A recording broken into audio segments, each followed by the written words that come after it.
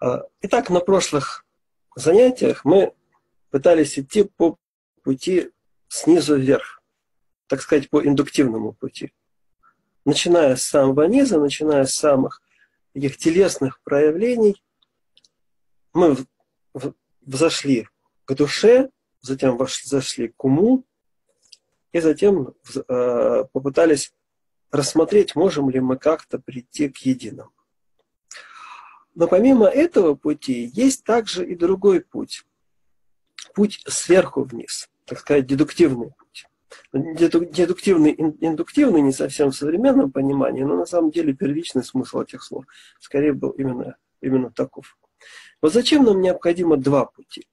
Эти пути, они как бы являются контрольными друг по отношению друг к другу.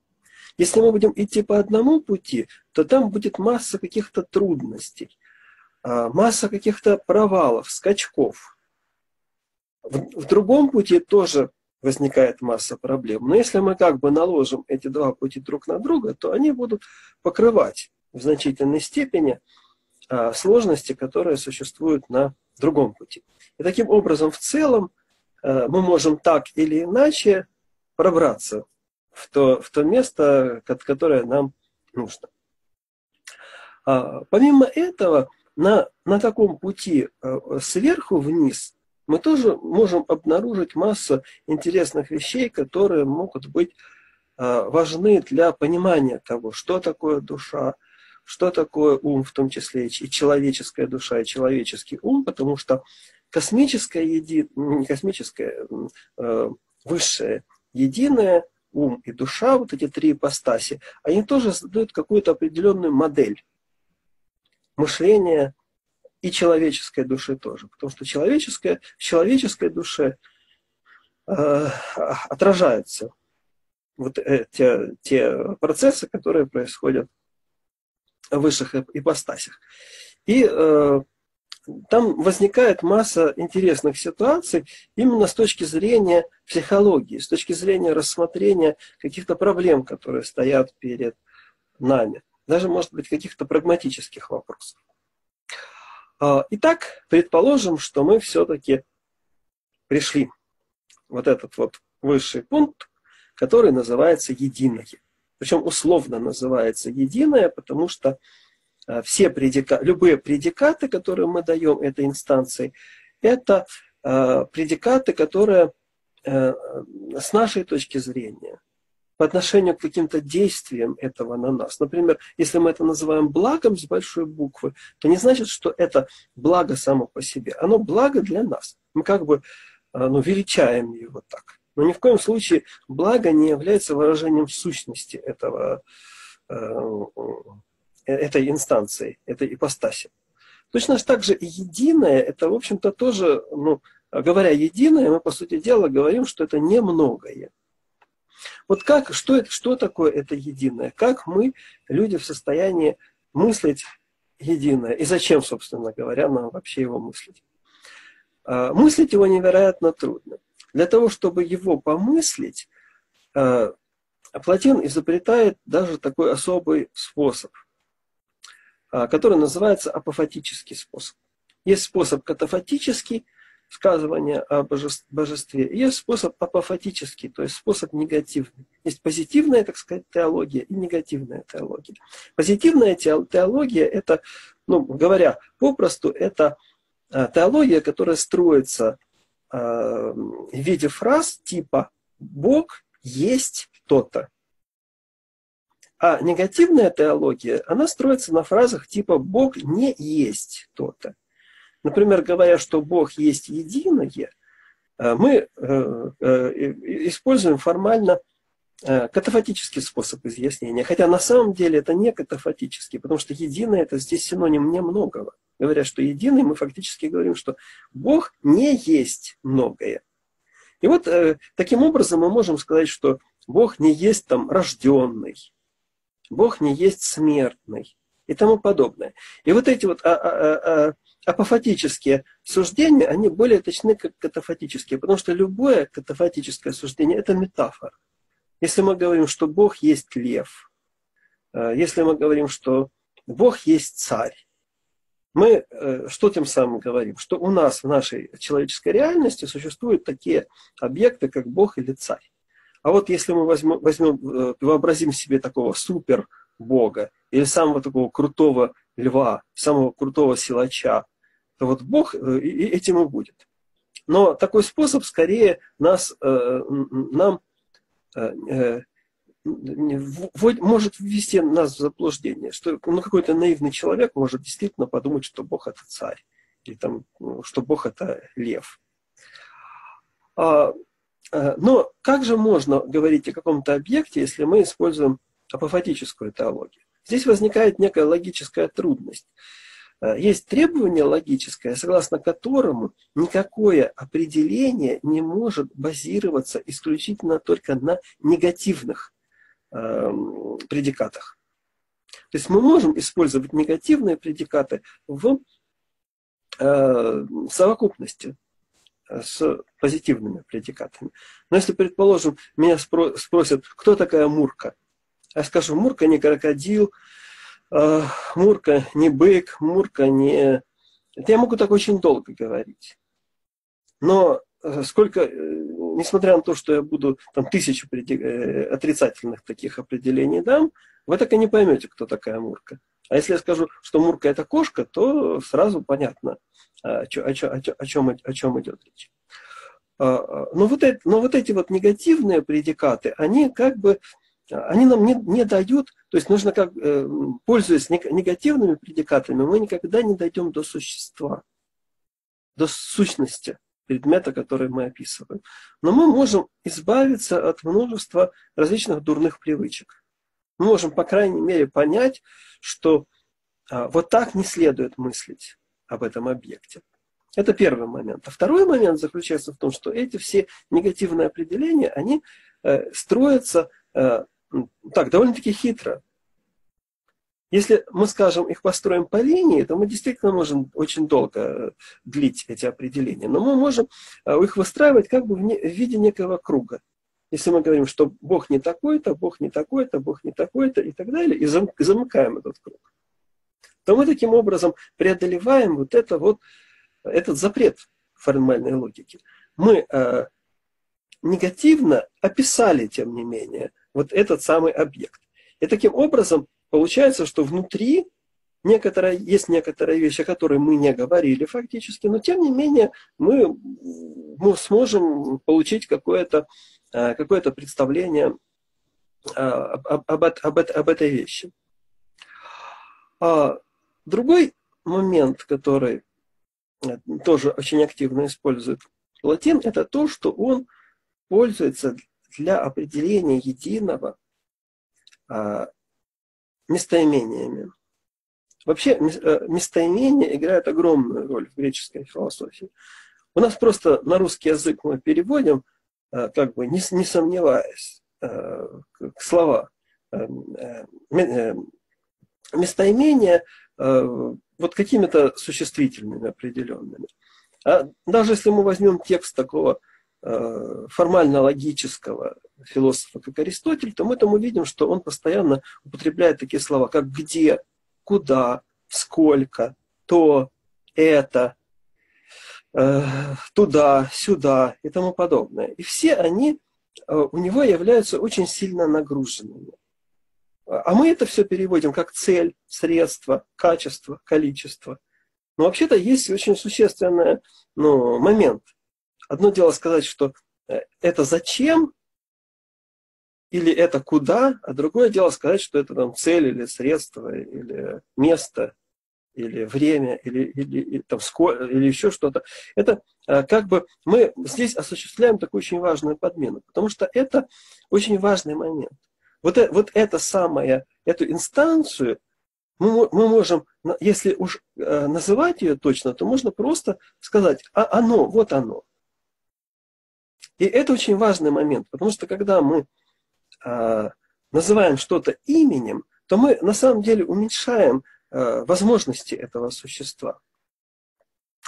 Мы, э, ну, скажем, к примеру, мы видим человека, но если мы дадим, ему, дадим ему имя, э, укажем его должность, из какого там он рода и племени, какое его отчество и так далее, мы его как бы при, привяжем куда-то.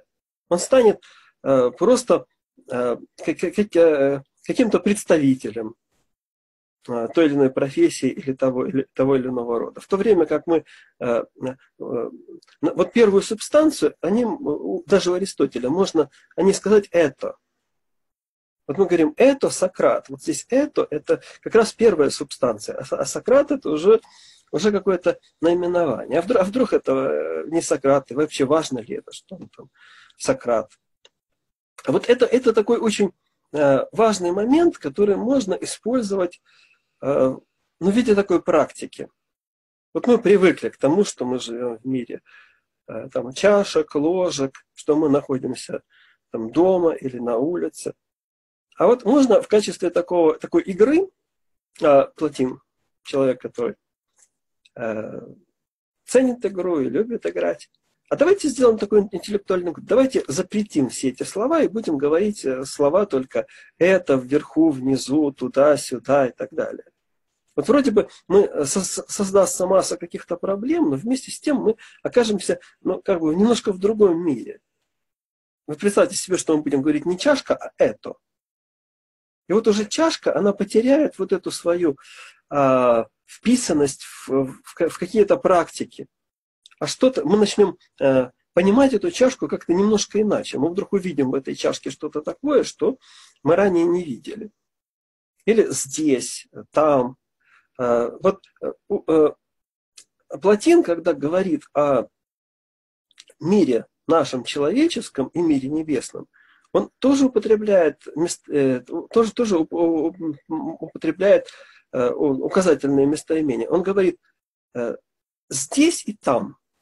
Он не говорит, что вот есть как, как, какое-то занебесье. Есть как, как, как что-то...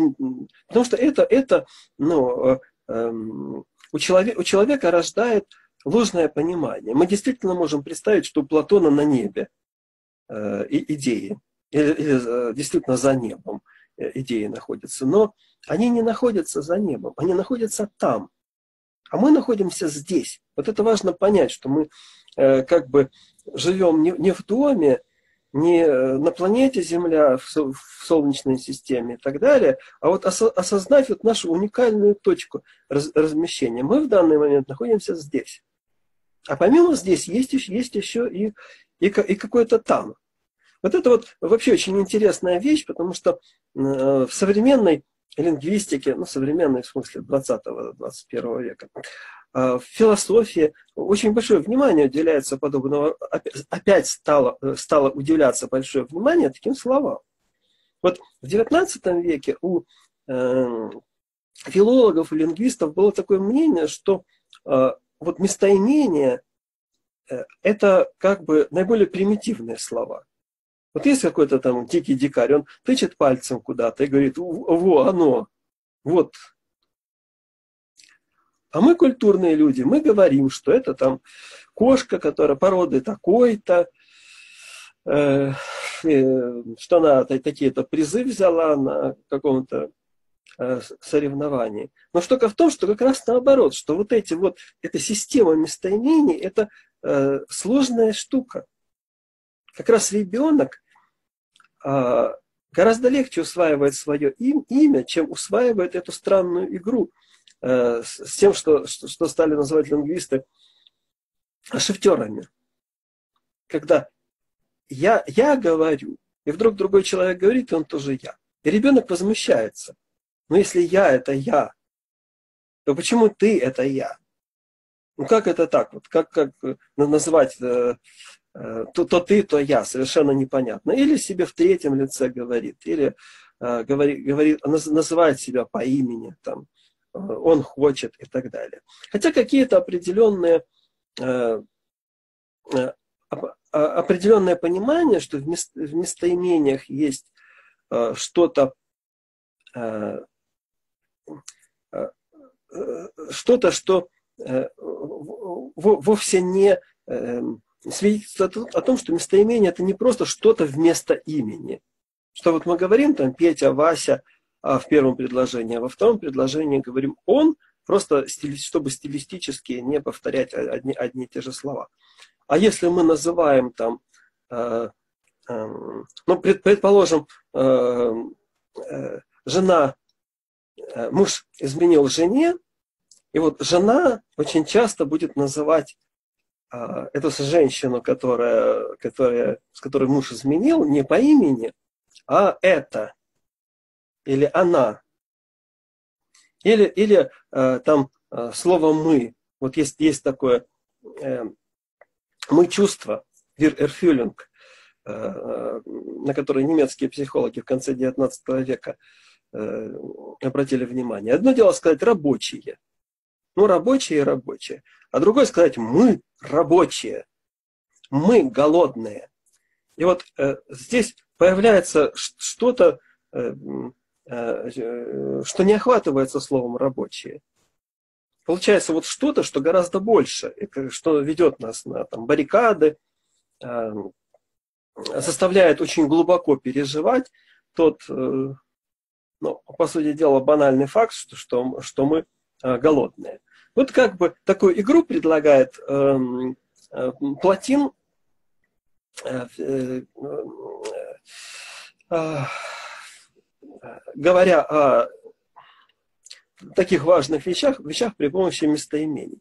Точно так же и апофатическая теология, она имеет и свои прагматические аспекты, свои психологические аспекты. Вот это вещь, которая нам дается очень тяжело. Как нам мыслить отсутствие? Как нам мыслить вот что-то, чего нет? Вот, например, на столе лежит чашка. Это важно. Вот она, это факт. А если я возьму и скажу, что на столе нет крокодила, то все очень сильно удивятся. А э, вообще, какой смысл э, вести, вести речь о, о, о, том, о том, чего нет? Хотя, с другой стороны, вот если мы зашли в кафе и видим, э, что там есть Иван, но нет Петра, то, что есть Иван, это как бы факт, а то, что нет Петра, это ну, что-то э, вроде бы неважное. Но если мы искали именно Петра, то в таком случае и зашли в кафе, то мы то в таком случае э, то, что там нет Петра, это как раз важно. А то, что есть Иван, это совершенно не важно. Если любимый человек отсутствует, то присутствие огромного количества человек, оно никак нам не заменит отсутствие, э, отсутствие Эм, э, любимого человека. Вот э, начиная с Платина, очень активно развивается такая негативная философия.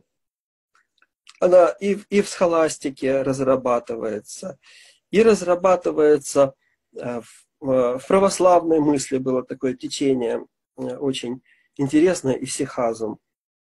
И потом в немецкой философии, причем в немецкой философии она очень по-разному разрабатывалась, в немецкой мистике, такой постсхоластической немецкой мистике, потом в э, э, немецкой классической философии. Вот э, система Гегеля, она построена на принятии нет, на принятии ничто в философскую систему.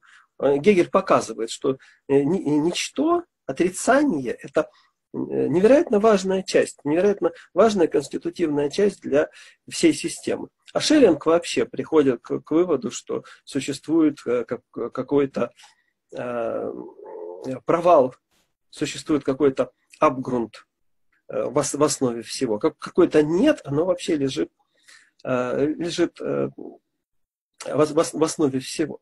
Вот это такой очень важный момент э, в мире видеть не только, что вот есть что вот передо мной лежат книжки, мониторы и тому подобное, но видеть то, что нет, и понимать, как это нет, влияет.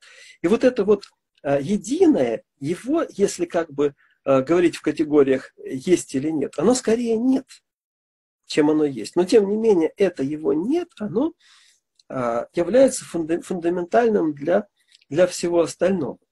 Но это как бы можно даже Э, ну, в таком прагматическом аспекте рассматривать. Я, когда я говорил об Аристотеле, я уже ссылался на такую неоаристотелианку, на неотомистку Фрэнсис Вуд, которая придумала очень такой забавный эксперимент про толстяка и вагонетки.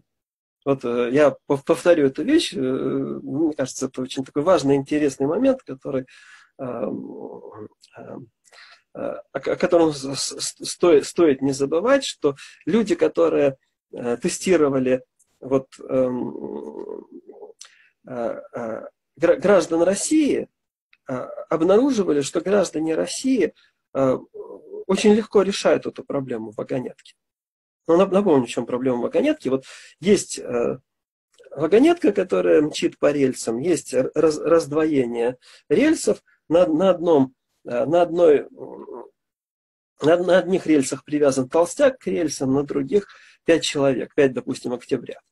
Вот куда направить вагонетку?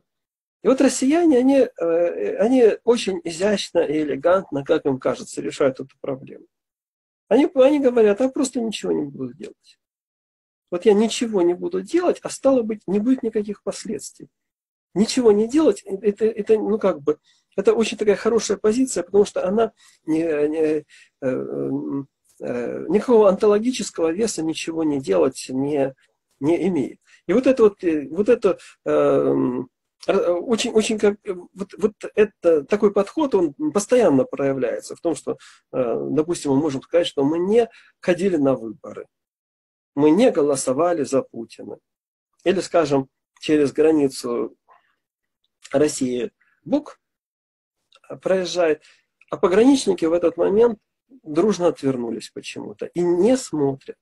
Они ничего не сделали. Поэтому можно ли их считать э, виновными в том, что э, да, да, далее, далее про, э, про, происходит? Вот, вот э, и, при этом самое забавное, что э, как раз многие э, русские философы как раз говорят, что русская мысль, она базируется на вот тех людях, которые являются последователями э, Платина. На э, неоплатонике Дионисия Ариапагите, вот у нас это как бы на знамя э, поднимается Дионисий Ариапагит, и, и э, так, такой поздний средневековый э, мыслитель Палама, или Палама его иногда называют, Э, основать, основатель исихазма, который тоже ну, фактически э, очень активно использовал э, платонические, неоплата, платиновские ходы мысли, когда он спорил с устанавливал вот эту вот свою идею, исихазма, но, но при этом, то есть как бы, а, а вот а, а Аквинский, скажем, он такой схоласт, но на самом деле Фома Аквинский понимал Дионисия Арепагита и понимал Платина куда гораздо в большей степени, в гораздо большей степени был последователем Платина и э, э Дионисия Ареопагита, чем, э, э, чем, чем можно назвать последовательницей. Э, рус, рус, рус, русскую культуру. Ну, собственно говоря, это немножко удалился, но, но чтобы показать, вот насколько вообще вот эти проблемы, которые кажутся ну, не, а, несколько абстрактными, отвлеченными, а, какую историческую и какую актуальную культурную ценность они, они имеют. Хотя это, конечно, э, отдельный разговор, я просто такой небольшой э, отход в сторону, э, в сторону сделал. Итак, что же, э, что, как же таким образом мы можем мыслить это самое еди, единое, а, если нет никаких возможностей э, определить его? Оно мыслится, э, а, во-первых, если мы будем идти по негативному пути, мы увидим очень много таких ну, странных вещей. Скажем, мы можем задать такой вопрос. А вот, ну вот э, душа мыслит, потому что она причастна уму. Ум мыслит. Ум осознает себя, и душа через ум тоже может познать себя. А единое оно мыслит, а единое оно может познать самого себя. У единого есть самосознание. И вот ответ Платина совершенно как бы такой сто процентов с полной уверенностью можно сказать, что на этот вопрос нужно отвечать нет. Есть ли память в едином? Опять-таки, получается, что нет. Вот, э, вот э, э, это такие выводы, они, они способны поставить в тупик человека. Причем самих слушателей плотины. Прям, когда читаешь плотину, слышишь возмущенные, возмущенные возгласы. Как это? Вот Платин пишет. Вот он пишет, что там единое не осознает себя, единое не, не, не мыслит вообще, не, не чувствует, не, у него не, нет памяти. И дальше, как это? Вот прям э, у, у Платина э, тексты очень такие живые. Они очень тесно связаны с его э, коммуникацией. И очень многие особенности текста объясняются тем, что они ну, как бы очень по таким живым следам Эм, записаны, просто чувствуешь, что драматургия, чувствуешь, что как, что слушатель, слушатель плотина вскакивает и говорит, как это? Вот действительно, если не имеет э, э, некое существо а, таких важных вещей, таких фундаментально важных для для них вещей, то для нас вещей, то как можно считать это существо а, чем-то божественным, чем-то высоким и так далее. И это, это очень такой интересный момент. А, Платин, говоря о едином, потом говоря об уме, говоря о душе, по сути дела, представляет вот некие а, альтернативные а, онтологические модели. А, альтернативные модели времени, памяти, пространства и тому подобное. И это само по себе крайне интересно. Вот даже если мы ну, э, не будем, э, э, не, не поверим Платину в том, что реальность действительно так устроена, что действительно где-то есть это единое, что действительно там души движут там, луной и, и, и, и все такое прочее, мы же это знаем, как, как устроена Вселенная. Тем не менее, это вот нек, некие такие интересные альтернативные модели, а, а, а может ли быть вот какое-то другое пространство? Может ли другая быть э, система не только пространственная, но этическая? Потому что у, у, у Платина все эти туда-сюда и тому прочее, это, они этически, этически заряжены. Э, сдвинуться отсюда туда, это ну, фактически некое внутреннее этическое измерение. А оно не значит, что мы куда-то куда то Э, пере, э, пере, пере, пере, переходим физически. Вот, вот такие вот а, а, альтернатив, такие альтернативные модели очень интересно поиграть. Можно, ну как бы, а, опять-таки, э, ну, использовать в качестве такой, такого тренинга. Вот мы находимся в такой-то ситуации, вот такие, такие-то у нас привычные обстоятельства нашей жизни. И мы очень часто входим в какие-то тупики. И не можем из них выбраться. Постоянно какие-то проблемы перед нами возникают и возникают совершенно стереотипные. А вот почему бы не поиграть? Почему бы не попробовать представить себе э, иное пространство или время, в котором действуют совершенно иные, иные ценности? Вот мы э, живем в, неко, в некотором мире материальном, в, котором есть вот какие-то э, характеристики, нам привычные. И вот Платин с удивительной легкостью их э, э, ну, э, обесценивает. Ну, мы, например, привыкли, что ну, это условие материального мира такое, что какое-то место занимает только один твердый предмет.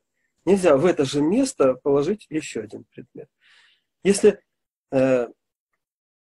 у нас на тарелке лежит один кусок торта, мы не можем в этот, в этот кусок положить еще второй а тем более целый торт. Но, но, но что нам это сделать запрещают?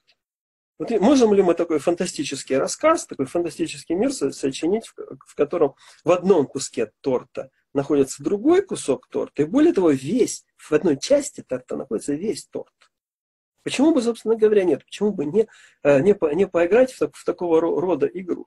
И вот когда говорит о, э, об уме, Палатин, он как раз и, и говорит, что ну, даже не только, э, э, это, это характерно не только для ума, но и для, и для души, что в одной ничтожно маленькой, в одной, ну, имеющей нулевую протяженность кусочки души, и в каждом элементе ума содержится невероятно много. Содержится все. В каждом кусочке торта там содержится весь торт. Но по большому счету это вообще-то э, и есть так. Вот. То есть метафорически нам может быть даже это понятно. Если мы съели один кусок, то мы получаем какое-то представление обо всем. А здесь мы берем одну идею. Вот что такое идея? Вот такая вещь, которая э, очень трудно постичь, когда мы э, изучаем Платона, изучаем постплатоновскую философию. Такое гла- главное, главное, такое, главное понятие Платона, тем не менее, не совсем понятно. Э, мы, мы как бы его мыслим по локовскому э, типу, как идея это что-то что -то, что -то объединяющая вещь. Вот есть торт, а есть идея торта, но идеи торта не, не наешься. Это просто некий как бы, образ, который существует у нас в голове. А, а а, а, а как раз здесь наоборот. Вот идея – это то, что в себе может содержать а, множество своих вариантов и множество а, других совершенно вещей. Мы смотрим на одну идею, и мы видим в этой идее очень много чего, а потенциально видим все. А, душа не протяженна, но тем не менее, а, вот то есть, то есть э, размер души нулевой. Но можно ли сказать, что душа... Кто, ну, кто, ну, такой вопрос. А, а кто больше, душа или тело? Если у нас тело, допустим, метр шестьдесят пять, вес, допустим, 70 килограмм, а, а у души 0 килограмм и 0 а, а, нулевой рост. Кто больше? Вот штука в том, что душа, будучи невероятно маленькой, она ухитряется, например, быть во всех э, кусочках тела. То есть душа может чувствовать боль в пальце ноги и в то же самое время чувствовать боль в пальце руки.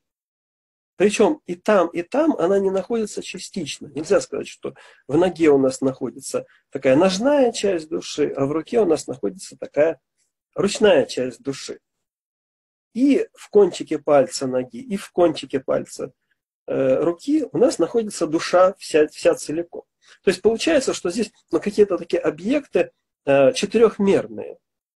То есть они в нашем трехмерном мире выглядят очень компактно, но в такой четырехмерной раз, развертке они оказываются такими, что охватывают собой все. Не душа существует в теле, говорят, говорит Платин, а наоборот – тело существует в душе. Если бы тело каким-то образом эм, высунулось из, э, из вот этой вот территории души, то это было бы э, э, довольно, довольно-таки довольно-таки фатально для тела. И вот здесь такой очень любопытный момент, что фактически нам предлагается некий мир, а, который вызывает у нас некое отторжение – но это отторжение является очень ярким свидетельством нашего психологического сопротивления. Это, это как раз свидетельство того, что мы не эм, а, что мы как бы погрязли в каких-то таких вот наших э, замыкающихся на себя проблем, привыкли вот к какому-то такому невро... воспроизведению э, невротического, непродуктивного поведения. И, э, и здесь как бы э, Платин так, таким, таким шоковым методом дел, действует. А давайте помыслим себе ну, принципиально, принципиально иную ситуацию. Вот удивитель, удивительная вещь, что вот, э, вот бежит, человек бегает, страдает и так далее. Ему вдруг предлагают такую штуку. А давай ты будешь, а, а давай ты попадешь в рай. В раю все есть. Это такой супер супермаркет. Но а, стоит ли в этом супермаркете оказаться? Вот как один из персонаж Райкина говорил, что дефицит – это очень важная вещь, потому что дефицит заставляет нас действовать, заставляет, дает нам смысл жизни, а, дает нам наш, наш, нашу социальную позицию. Вот ты товаровед, ты товаровед. Я тебя уважаю, ты меня уважаешь. А если а приходишь, например, в коммунистический супермаркет, а там есть все. Говоришь, вот есть там такие штаны? Тебе говорят, есть. А есть штаны с такими пуговками? Есть. А можно два? Пожалуйста, два. И все. И жизнь становится бессмысленной, потому что не к чему стремиться, не, э, нет, нет никаких ценностей, нет твоей ценности, потому что выходишь, ты товаровед, а на тебя все пилюют, как говорит э, Райкин. Вот э, э, что делать в этом самом раю? И причем это вечность будет. Вот стоит ли нам поменять вот этот вот, э, то есть поменять вот эту нашу жизнь какого-нибудь там Вудиалиновского невротика на жизнь блаженного, который видит Бога и который вот должен теперь вот непрерывно там петь Аллилуйю с утра, с утра до ночи, как там какие-нибудь э, э, китайские марксисты э, восхваляют непрерывно э, Мао Цзэдуна. Э, скучно этим заниматься. Есть, есть, есть, есть такая э, поэтесса Анна Горенко, израильская, вернее, была, э, она умерла, когда ей было 27 лет. Но есть, есть такая совершенно замечательная фраза в стихотворении – я с тобою к жизни вечной и к бессмертию привык. Вот хорошо ли это жизнь вечная э, и бессмертие? Или, или, или к нему нужно привыкать? Вот здесь я с тобою. Вот, вот, вот это, это очень такой важный момент. Вот есть ли какие-то такие вещи, которые могут быть вечны? Какие-то предметы, какие-то люди, с которыми мы можем быть вечны и с которыми мы не хотим э, расставаться никогда. Вот, э, вот это такой, эм, э, такой тоже интересный парадокс о границах человека. Вот здесь у нас есть границы. Это, это замечательно, что у нас есть границы. Это очень сильно нам помогает в этом мире. А в том мире не будет границ. И вот здесь возникает вопрос, ну как это не будет? В таком случае Э, мы потеряем индивидуальность. Наша индивидуальность базируется на наших границах. А если эти границы стереть, что с нами будет? Можем ли мы отказаться от наших границ? Но когда люди влюбленные, они, у них как раз стираются границы. Они как раз испытывают некий такой э, трансгрессивный опыт, такой экстремальный опыт, когда вот есть такой образ в, любовной лирике или в любовной прозе, когда говорится, что э, когда возлюбленные говорят, что они хотят быть одним телом. Они хотят, чтобы между ними исчезло, там, э, исчезли все возможные препоны, которых разделяют, и чтобы они превратились в одно, в одно тело. А, ну и, и такой менее экстремальный опыт, который мы э, можем испытать, когда мы представляем команду, когда мы испытываем симпатию, э, как дружба, э, какие-то там совместные действия, мы вдруг испытываем нек, некий такой опыт, когда мы ну, перестаем чувствовать четко границы, которые конституируются на самом деле, которые ну, мы э, культурно и психологически очень э, э, с, с большим трудом выстраиваем некую такую нашу скорлупу. И, и, вдруг, и вдруг в, это, в этом опыте там, совместного боления, например, когда мы вместе болеем, приходим на стадион, мы вдруг чувствуем, что эти границы очень сильно размываются, что теряется как бы эм, э, чувство, что вот это моя рука, это твоя рука. Э, мы в, мы в какой-то толпе в экстазе, мы как бы вдавливаемся друг, друг в друга. Э, мы не чувствуем, вот если, если, если мы в метро, скажем, э, прикасаемся к телу другому человеку, мы можем испытывать такие очень резкие, резкие негативные эмоции. А, а, а здесь мы чувствуем, что происходит размытие этих границ, но тем не менее мы получаем какой-то позитивный опыт. Вот э, такой вопрос нам задает Платин.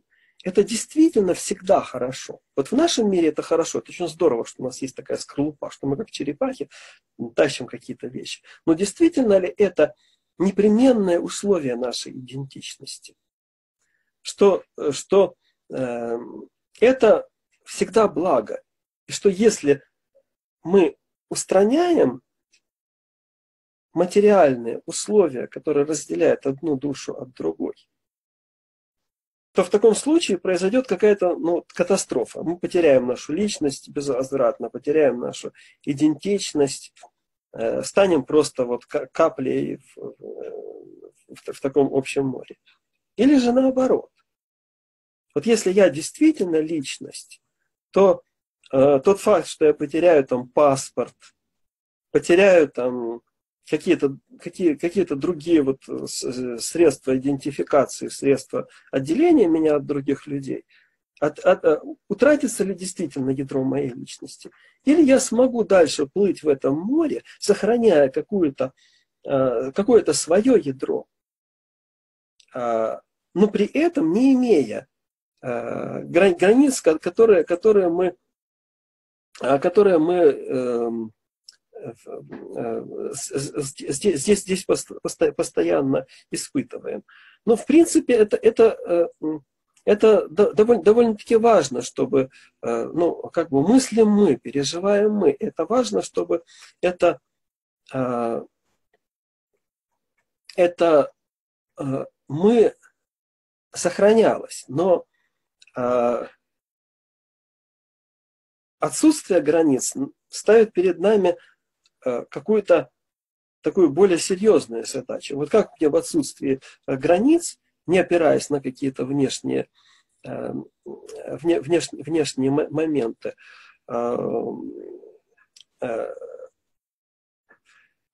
формировали некое новое единство, некое новое самотождество, которое ну, куда гораздо круче, чем та личность, которой мы пользуемся сейчас.